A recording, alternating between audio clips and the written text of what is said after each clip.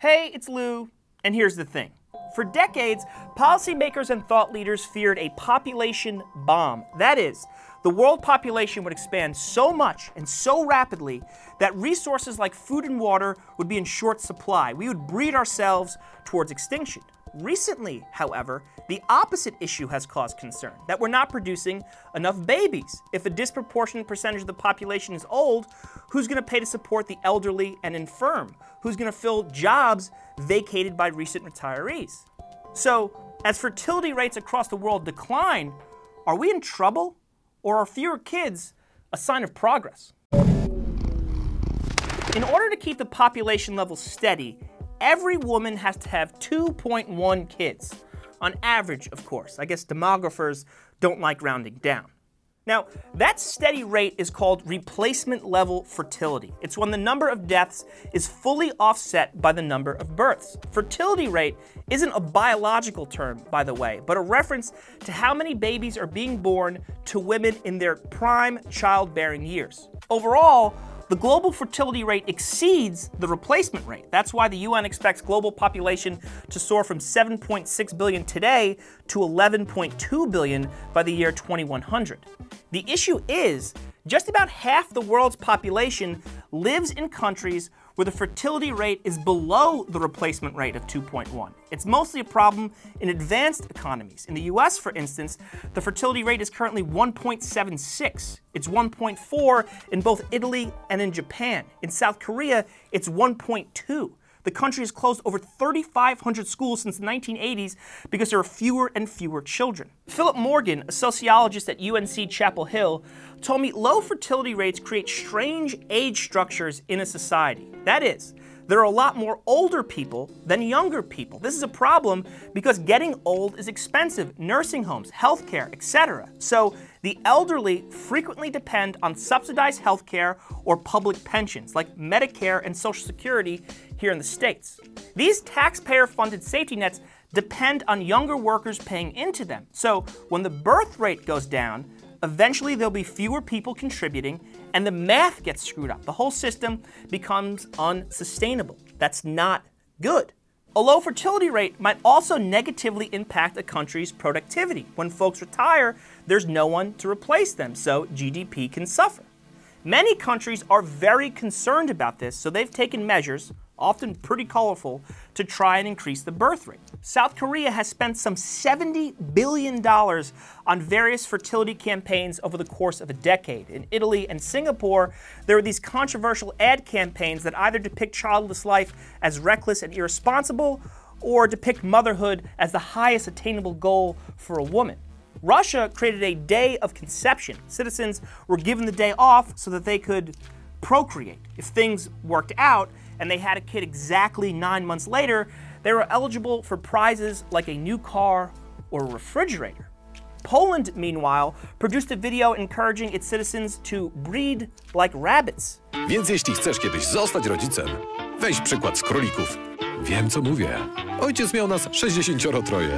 Denmark has launched a racy Do It for Denmark campaign that encourages patriots to conceive on vacation. Faktisk har danskerne 46 procent mere sex på ferier sammenlignet med hverdagen. Not to be outdone, Singapore has National Night. I'll let this amazing video speak for itself. tap you all night like an EZ-Link card. Let's make a little human that looks like you and me. Exploring your body like the night safari.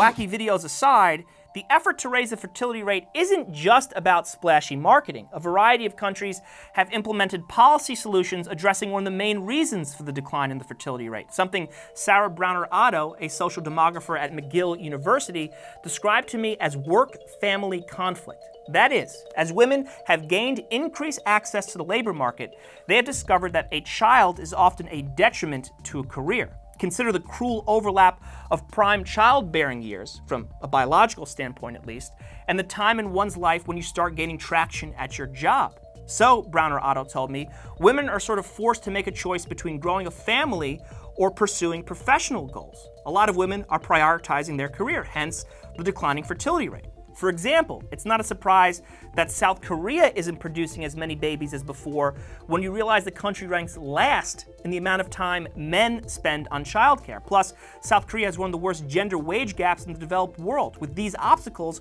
women are understandably reluctant to have kids. So, a lot of countries are realizing that if you want to increase the fertility rate, they have to make the workplace more hospitable to moms. Hence, France and Sweden have subsidized childcare. Several countries have increased paternal leave and encouraged flexible work conditions for new mothers. Singapore just gives money to new parents.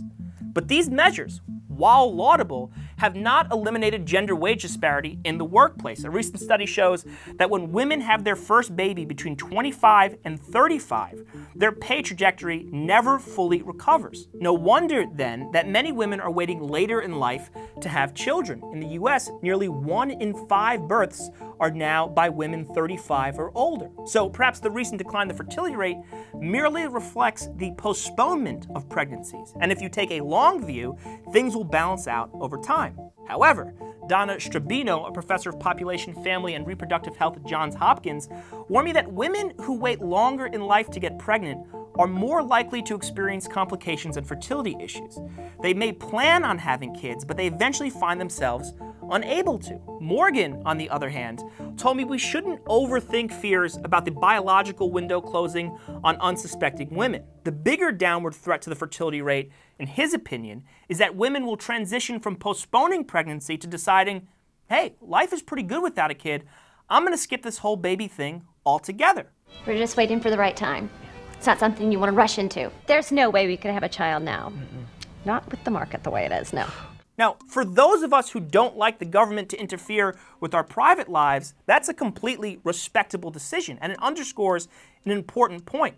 The decision to have a child is deeply personal. Ronald Lee, a demographer at Cal Berkeley, told me that governments may worry about funding the social safety net and replacing workers, but on the individual level, few of us stay up at night worrying about the solvency of public pensions. We fret about our own households. And not having kids is one way to stay out of financial trouble. I mean, kids are really expensive. Plus, having babies isn't the only way to fix Social Security. Lee points out that governments can simply raise the age when citizens receive benefits like Social Security. He told me there's no reason to ask young people to fund leisurely retirements. Since folks are living longer than before, it makes sense to ask them to work a little longer too. In terms of decrease in productivity, if there are too few workers, Morgan told me advances in technology can make up for that. Automation will replace many retiring baby boomers, for example. Now, every expert I spoke to pointed out that the fertility rate is tied to the economy. The rates tend to go down during recessions. When the economy is struggling, it's difficult to afford a kid. But when things improve, you generally see an uptick in births. Yet, as the US emerged from the latest financial recession, as unemployment has shrunk, there has not been a corresponding rise in the fertility rate.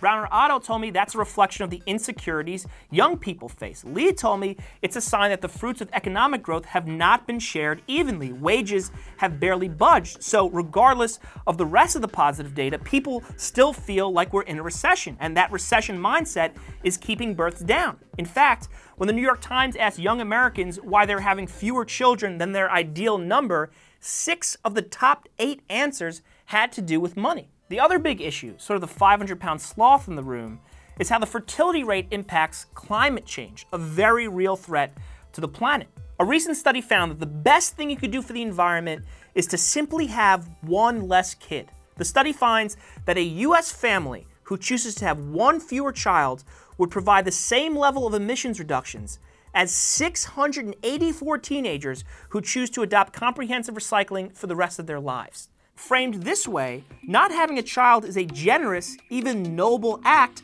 that would make the world a little more sustainable. The Center for Biological Diversity underscores this point by distributing condoms with sayings like, wrap with care, save the polar bear, and before it gets any hotter, remember the sea otter.